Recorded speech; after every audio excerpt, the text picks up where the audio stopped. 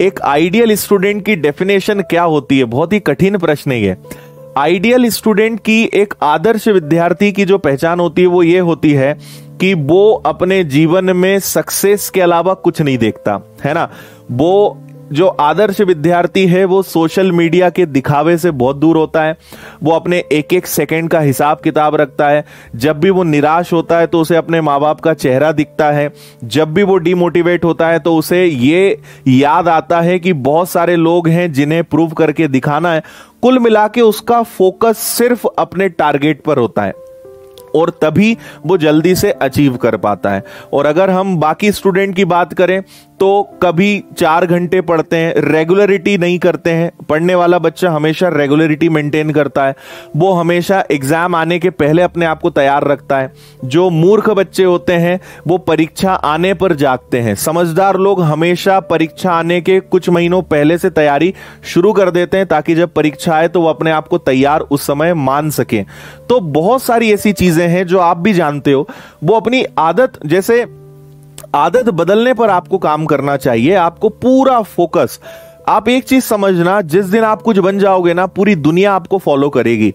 आप कई बार ऐसे लोगों को मेंटेन करने में अपना टाइम वेस्ट करते रहते हो, आप सोचते हो, यार, इनसे व्यवहार नहीं रखेंगे तो ये बुरा मान जाएँगे।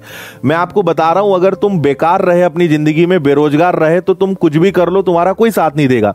और अगर तुम कुछ ढंग के बन गए, कुछ अधिकारी बन गए ऑफिसर बन गए, शानदार गवर्नमेंट जॉब ले ली, लोग तुम्हें मेंटेन करेंगे।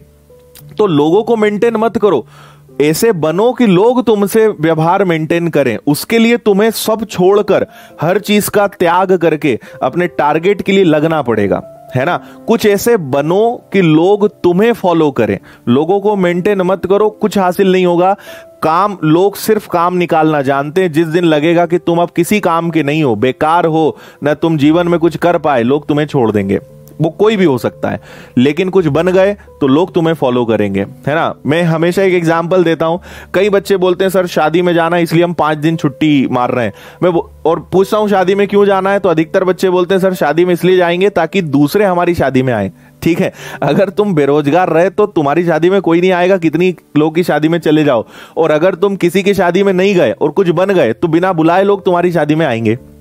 तो अगर तुम कुछ बन गए तो तुम्हारी जी, इस ज़िंदगी में कीमत है। नहीं बने तो फिर आम इंसान आप रहेंगे कोई वैल्यू आपकी नहीं होने वाली है। ठीक है